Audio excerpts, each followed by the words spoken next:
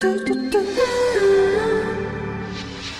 हूँ गुलजार, आपका अपना शेफ और ये है मेरा किचन जहाँ आपको मिलेंगे दुनिया भर की रिवायती खाने। सिंधी बिरयानी से लेकर जापानीज सुशी तक कुन्ने से लेकर अमेरिकन स्टेक तक।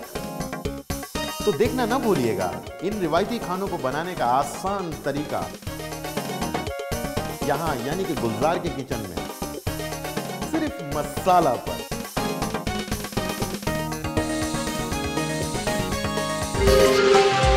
कुकिंग विद गुलजार हफ़्ता दोपहर दो बजकर तीस मिनट।